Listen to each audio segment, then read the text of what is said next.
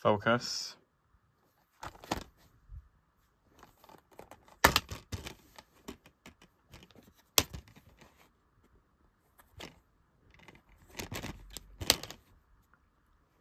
Now, I do have the Blu-ray version of this movie, but I want to get the 4K Ultra HD Blu-ray version because I found it at my CeX for £8.